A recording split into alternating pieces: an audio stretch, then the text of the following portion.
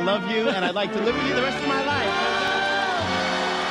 And they said that was all fine and good. Could you smile?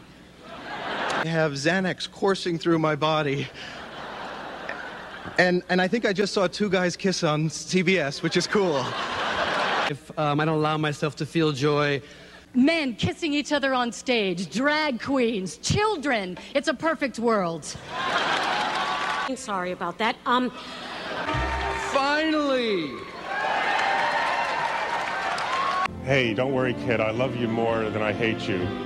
New York, New York. Mama's got the stuff. Mama's got 'em. A great, great American play with the sexiest cast on Broadway. Thank you. And your choice for best Tony winning play ever is Puppetry of the penis.